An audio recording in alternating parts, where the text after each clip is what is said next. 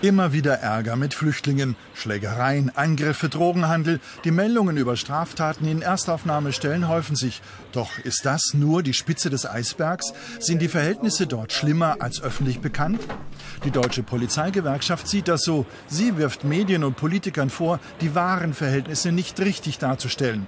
Davon ist der stellvertretende Vorsitzende in Baden-Württemberg, Ralf Kusterer, überzeugt. Er erklärte dem SWR, auch Waffen spielen eine Rolle, Hieb- und Stichwaffen, teilweise selbst hergestellt, die da zum Einsatz kommen.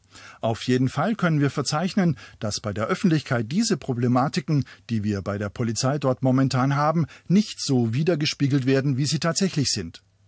Schwierige Situation für Polizisten. Sie müssen auf all die Wut, Resignation, Langeweile, auf die traumatischen Erlebnisse reagieren. Bei Tausenden von Flüchtlingen zusammengepfercht auf engstem Raum.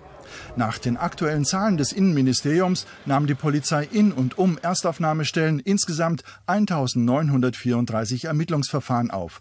In 737 Fällen ermittelte dann die Staatsanwaltschaft. Das betraf unter anderem Eigentumsdelikte in 278 Fällen, Straftaten gegen die körperliche Unversehrtheit in 148 und gegen sexuelle Selbstbestimmung in vier Fällen.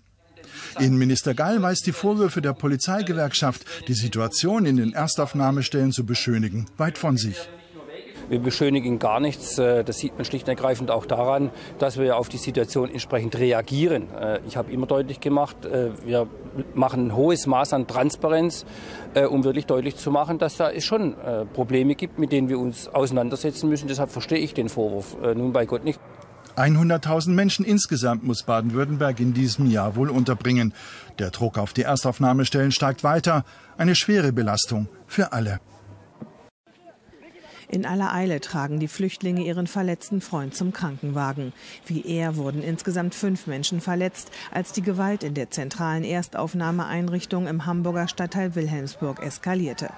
Zeitweilig waren bis zu 60 Personen an der Schlägerei beteiligt. Einer der Männer wurde von mehreren anderen zusammengeschlagen. Daraufhin holte er seine Freunde und dann entwickelte sich eine Schlägerei, bei der die Männer mit Messern und den Eisenstangen aus den Betten aufeinander losgingen. Einer hatte sogar eine Pistole. Am Ende standen sich 60 Polizisten und ebenso viele Albaner und Afghanen gegenüber. Mehrere Männer wurden festgenommen. Ausgangspunkt der Prügelei war offenbar ein Streit im Sanitärbereich der Unterkunft. Nach Angaben der Hamburger Morgenpost berichtete ein Polizist vor Ort, Albaner hätten von anderen Gruppen Abgaben für die Benutzung der Waschräume verlangt. Daraufhin sei zunächst ein lautstarker Streit entbrannt, bis die Fäuste flogen.